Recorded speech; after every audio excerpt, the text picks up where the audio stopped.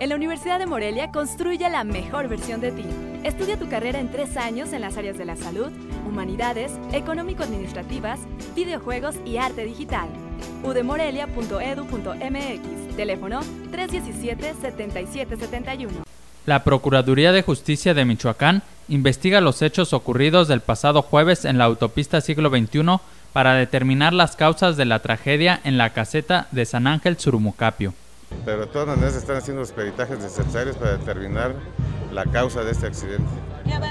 El procurador Plácido Torres dijo que hasta el momento se detectaron algunas deficiencias en los registros del conductor que inició el manejo de la pipa en el lugar de origen. Hay algunas deficiencias en el nombre del conductor, el que salió de allá y el que traía aquí el, que venía manejando. El funcionario señaló que habrá complicaciones para determinar las causas debido al mal estado de la unidad.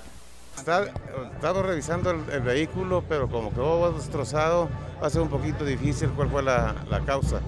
Mientras tanto, el conductor de la pipa ya fue consignado ante el juez en la ciudad de Uruapan. Con información de Miguel Ángel Sánchez Informa, Cuasar TV.